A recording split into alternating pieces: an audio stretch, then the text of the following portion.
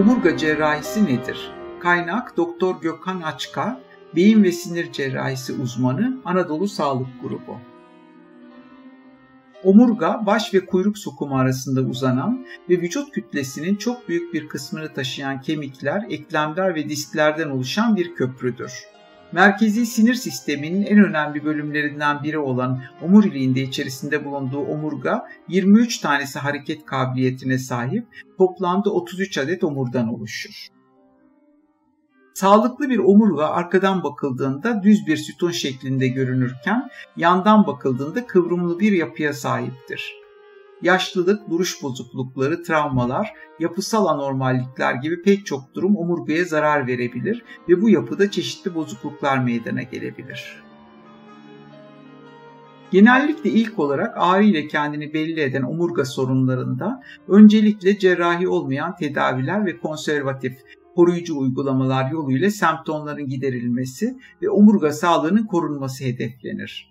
Bazı daha ciddi durumlarda ise omurga cerrahisi uygulamalarından yararlanılarak hassas cerrahi operasyonların gerçekleştirilmesi zorunlu hale gelebilir.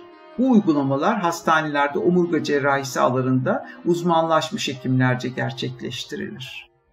Omurga cerrahisi nedir? Omurga cerrahisi omurgaya ilişkin hastalıkların cerrahi tedavi uygulamaları ile ilgilenen bir cerrahi uzmanlık dalıdır. Omurgada oluşan işlevsel, yapısal veya mekanik sorunlar kendilerini ağrı ve hareket kısıtlılığı, kuvvet ve duyu kayıpları şeklinde belli edebilir. Disk sorunları omur eklemlerinde kireçlenme, omurga eğrilikleri, fıtıklar, bazı doğumsal hastalıklar, tümör ve enfeksiyonlar omurgadaki söz konusu olumsuzlukların nedeni olabilir. Omurga cerrahisi türleri nelerdir? Omurga oldukça kompleks bir yapıdır ve bu yapının her bölgesinin ve bu bölgede yerleşmiş her bir sorunun cerrahi tedavi tekniği birbirinden büyük farklılıklar gösterebilir. Böylesi kompleks sorunların çözümünde en değerli etkenler tecrübeli doktorlar ve bu tecrübeyi çok daha başarılı düzeylere tırmandıracak olan teknolojik altyapıdır. Günümüzde uygulanan cerrahi teknikler çok geniş bir yelpazeye yayılmış olsa da bunların bazılarını şu ana başlıklar altında inceleyebiliriz. Diskektomi ve mikrodiskektomi Omurlar arasında yer alan kıkırdak yastıkların hasar görüp omurilik ve veya omurilikten çıkan sinir köklerine baskı yapmasına disk hernitasyonu, bel boyun fıtığı, bu fıtıklaşmanın ameliyatla giderilmesine de diskektomi ameliyatı denilmektedir. Minimal invaziv yöntemlerle yapılan diskektomi işlemleri ise mikrodiskektomi olarak adlandırılır. Tüm dünyada halen altın standart olan ameliyat yöntemi mikrodiskektomidir. Disk protezi yerleştirilmesi Omurga cerrahı tarafından hasar görmüş olan bir omurga diskinin çıkarılarak yerine bu amaçla kullanılmak üzere üretilen yapay disklerin disk protezi yerleştirilmesi işlemidir. Daha ziyade servikal bölge boyun ameliyatlarında kullanılan bir yöntem olmakla beraber seçilmiş bazı hastalarda lomber bölgede belde de uygulanabilmektedir. Bu ameliyatın ikincil hedefi ameliyat olan bölgedeki omurga hareket kabiliyetinin korunmasıdır. Laminektomi, omurga kanalının darlık oluşan spinal stenoz hastalarda bu kanal çapının artırılmasını hedefleyen, omurganın arka kısmındaki lamina olarak da adlandırılan ince yapılı kemikli kısmın kısmi veya tamamen çıkarılması işlemidir. Bu sayede omurilik ve sinir kökleri üzerindeki bası ortadan kaldırılır. Bu operasyon lomber spinal stenoz hastalığının tedavisi için en sık uygulanan operasyon türüdür. Ancak tek başına laminektominin yetmeyeceği bazı olgularda spinal füzyon operasyonu ile bir arada gerçekleştirilebilir. Spinal füzyon stabilizasyon, omurga birbiriyle oldukça kompleks fonksiyonel mekanik bağları olan 33 omurun bir araya gelerek oluşturduğu bir yapıdır. Bazı hastalıklar iki veya daha fazla omurun hem mekanik hem de fonksiyonel bütünlüğünü bozabilir ve bunun sonucu omur kaymaları, listezis, bel kayması gibi kamburlaşma, kifoz, yanal omurga eğrilikleri, skolyoz gibi sorunlar ortaya çıkabilir. İşte bu tarz bozuklukları ortadan kaldırmak amacıyla omurgadaki iki veya daha fazla kemiğin kalıcı olarak birbirine bağlanması işlemine spinal füzyon stabilizasyon adı verilir.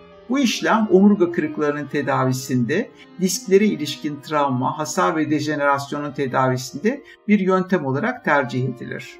Operasyon vida ve çubuk gibi aparatların kullanım durumuna göre enstrümantasyonlu veya enstrümantasyonsuz olarak veya vücudun başka bir bölümünden alınan kemik dokularının kullanımı gibi farklı yöntemler kullanılarak gerçekleştirilebilir.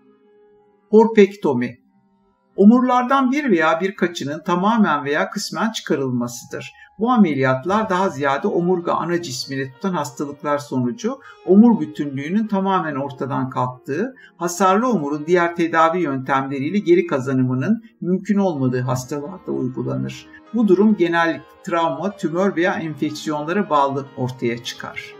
Özellikle omurun tamamı alınan olgularda alınan omurun yerine kafes adı verilen bir malzeme yerleştirilir. Böylece omurga bütünlüğü yeniden sağlanır ve daima stabilizasyon ve füzyon işlemleriyle beraber yapılır. Vertebroplasti, omurga kırıklarında veya kanserin omurlara sıçradığı olgularda omurun içerisine kemik çimentosu da denilen akrilik tabanlı bir maddenin enjekte edilmesidir. İşlem yaklaşık 2 mm çapı olan bir iğnenin skopi veya sıfır arm CT kontrolü altında omurga cisminin ortasına kadar ilerletilmesi ve bu iğnenin içerisinden kemik çimentosunun enjeksiyonundan ibarettir.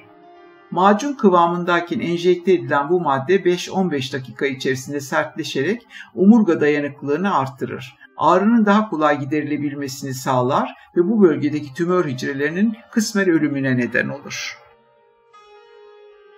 Omurga cerrahisi riskleri Omurga ameliyatlarının çok büyük bir kısmı geri dönüşü bulunmayan uygulamalar içerir. Bu nedenle ameliyat kararı verilmeden önce alanında uzman hekim kadrosu tarafından hasta çok yönlü olarak değerlendirilmeli, ameliyat gerekliliği hakkında multidisipliner olarak gerekli irdelemeler yapılmalıdır. Ameliyat olması kararlaştırılan hastalar genellikle diğer tüm tıbbi tedavi seçeneklerin denenmesine karşılık etkili sonuçlar elde edilememiş, hastalık çok fazla ilerlemiş, yaşam kalitesini büyük ölçüde olumsuz etkilemiştir veya ani nörolojik hasarlar gelişmiş olgulardır. Bu tür hastalarda tek tedavi yöntemi uygun tekniğin belirlenmesiyle gerçekleştirilecek olan omurga cerrahi operasyonlarıdır. Tüm ameliyat türlerinde olduğu gibi omurga cerrahisinde de bir takım düşük olasılıklı risklerden söz edilebilir. Bu risklerden bazıları şunlardır. Anestezi veya verilen ilaçlara karşı vücudun tepki vermesi, enfeksiyon, kanama, sinir hasarı, yerleştirilen implantlarda kırılma gibi dejenerasyonlar. Her ne kadar görülme olasılığı düşük olsa da bu gibi riskler omurga cerrahisi operasyonları için söz konusu olabilir ve bu nedenler riskler hakkında gerekli bilgilendirmeler hekim tarafından yapılır. Alanında uzman ve tecrübe sahibi cerrahlar tarafından gerçekleştirilen operasyonlarda bu riskler minimuma indirilir. Operasyon öncesi dönemde cerrahi tedavi sonrasında elde edilecek kazanımlar ve gündeme gelebilecek beklenmeyen durumlar hakkında hastanın iyi bir şekilde bilgilendirilmesi, operasyon sonrası yaşanabilecek olumsuzlukların önlenebilmesi açısından önemlidir. Omurga cerrahisi avantajları nelerdir? Omurga cerrahisi şiddetli kas gücü kaybı, şiddetli boyun, bel ve bacak ağrıları, belirgin düzeydeki his kaybı, kalça çevresinde uyuşukluk, idrar çıkışına ilişkin sorunlar ve cinsel fonksiyon kayıpları gibi ciddi sorunların giderilmesine olanak sağlayan tedavi yöntemleridir. Bu gibi sorunların ameliyat dışı yöntemlerle tedavi edilemediği, edilemeyeceği olgularda omurga cerrahisi uygulamalarına başvurmak zorunludur. Omurga cerrahisi yaşam kalitesini çok ciddi şekilde etkileyen bu tarz ciddi komplikasyonları büyük ölçüde ortadan kaldırmaktadır. Hassas bir yapı olan omurganın ameliyatlarında uygun profildeki hastalar için minimal invazif teknikler kullanılarak daha düşük komplikasyon riski ve hızlı bir iyileşme süresi gibi avantajlar elde edilebilir. Bu nedenle minimal invazif cerrahi teknikleriyle operasyon gerçekleştirme yetkinliğine sahip sağlık kuruluşlarının tercih edilmesi bu yöntemle tedavi edilebilecek omurga hastalıkları açısından fayda sağlar.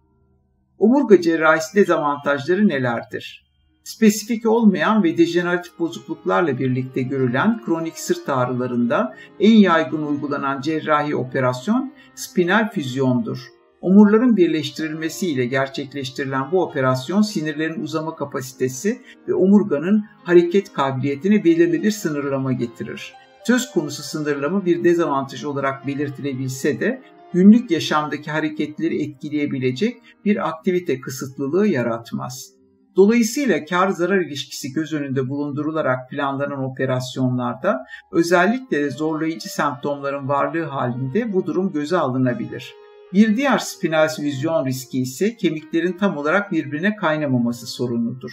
İkinci bir operasyonu gerekli kılabilen bu durum çok nadir olarak görülür. Fakat kemiklerin kaynamasını zorlaştırması nedeniyle sigara kullanımı bu komplikasyonun gerçekleşme riskini belirgin oranda artırabilir.